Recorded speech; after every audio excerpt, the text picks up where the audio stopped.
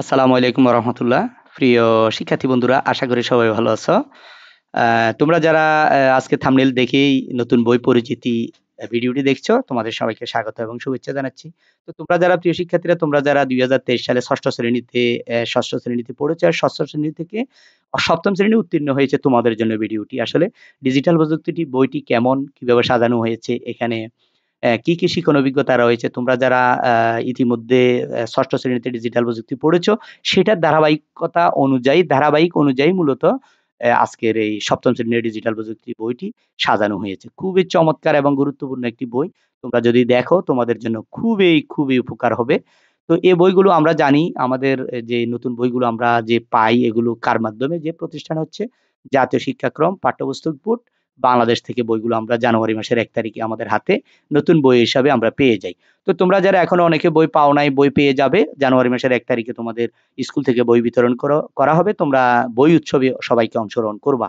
তো এখানে বইয়ের প্রথমে লেখা আছে প্রসঙ্গ কথা, এটা আমি নাই পড়লাম। এটা এটা মূলত তোমাদেরকে বোঝানো হচ্ছে যে নতুন প্রযুক্তি, নতুন শিক্ষা ব্যবস্থা, সবকিছু নতুন।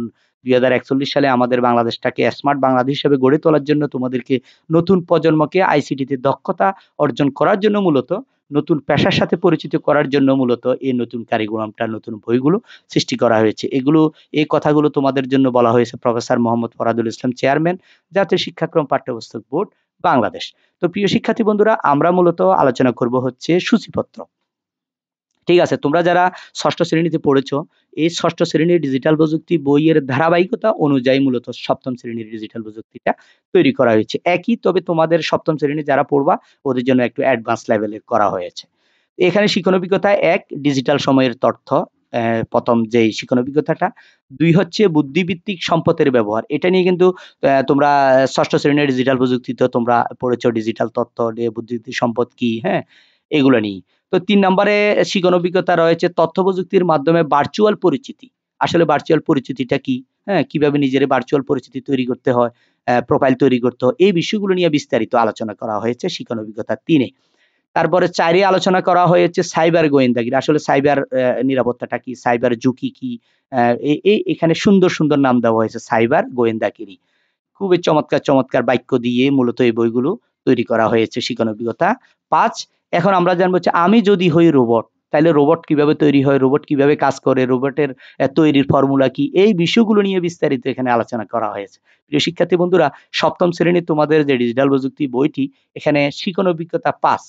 পাঁচটা শিক্ষণ অভিজ্ঞতার ভিতরে মূলত একটা শিক্ষণ অভিজ্ঞতার ভিতরে নয়টা করে সেশন রয়েছে, আটটা করে সেশন রয়েছে। এইভাবে মূলত বইটি বাহাত্তর পৃষ্ঠা আছে হচ্ছে আমি যদি হই রোবট। তো এইভাবে বইটি মূলত সাজানো হয়েছে। তো এখানে দেখো আরও আছে শিক্ষণ অভিজ্ঞতা ছয়ে কি রয়েছে? বন্ধু নেটওয়ার্ক, ভাব বিনিময়। বন্ধু নেটওয়ার্কে ভাব বিনিময়। ঠিক আছে? তারপরে শিক্ষণ অভিজ্ঞতার সাথে আছে গ্রাহক সেবায় ডিজিটাল প্রযুক্তির ব্যবহার। তারপরে আট নাম্বার রয়েছে যোগাযোগের নিয়ম মানি। কীভাবে তুমি যোগাযোগ করবে একজনের সাথে একজনে অনলাইন ব্যবহার করে ডিজিটাল প্রযুক্তি ব্যবহার করে হ্যাঁ? এই বিষয়গুলো নিয়ে এখানে আলোচনা করা হয়েছে। এখানে ষষ্ঠ শ্রেণীতে আঞ্চলিক বৈচিত্র্যপত্র রয়েছে, আবার এখানেও শিক্ষণ অভিজ্ঞতা নয়ের ভিতরে আঞ্চলিক বৈচিত্র্যপত্র রয়েছে। এই আঞ্চলিক বৈচিত্র্যপত্রটা কি আসলে, এটা নিয়েও বিস্তারিত আলোচনা তোমরা ষষ্ঠ শ্রেণীতে পড়েছো এবং অষ্টম, সপ্তম শ্রেণীতে এসে আরও বেশি করে তোমরা জানতে পারবা। তো এখানে শিক্ষার্থীদের উদ্দেশ্যে কিছু কথা বলা হয়েছে। তোমরা যখন বইটি পাবে, তখন তোমরা এটা ভালো করে পড়ে নিবা। তো এখানে শিক্ষণ অভিজ্ঞতা দেখো ডিজিটাল সময়ের তথ্য সেশন এক, ছয়টি প্রশ্নের উত্তর খুঁজি। এ প্রথম শিক্ষণ অভিজ্ঞতার ভিতরে রয়েছে ডিজিটাল সময়ের তথ্যের ভিতরে। তো এগুলো আমরা বিস্তারিত আলোচনা করলাম না। তোমরা যখন বই পাবে, তখন তোমরা আসলে বিস্তারিত পড়ে নিবা। অবশ্যই ক্লাসে এটা নিয়ে আলোচনা হবে।